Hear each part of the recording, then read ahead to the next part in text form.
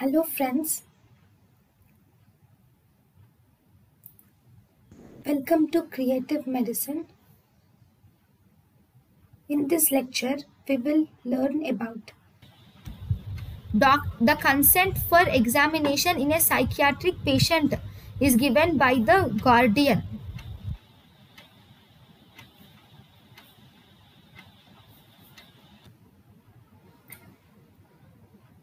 Thank you and thank you for watching.